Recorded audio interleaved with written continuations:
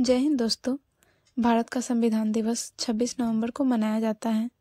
26 नवंबर उन्नीस सौ उनचास ईस्वी को डॉक्टर भीमराव अंबेडकर की अध्यक्षता में भारतीय संविधान हमारे देश को समर्पित किया गया था और 26 जनवरी 1950 ईस्वी को इसे लागू किया गया।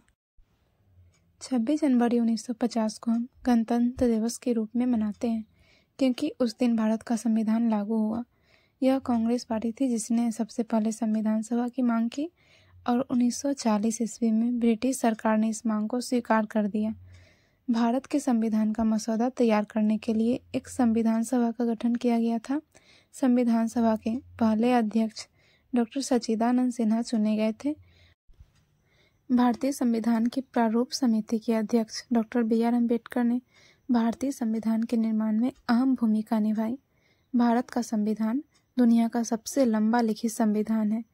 भारतीय संविधान लिखने में दो वर्ष, ग्यारह महीना और अठारह दिन का समय लगा था।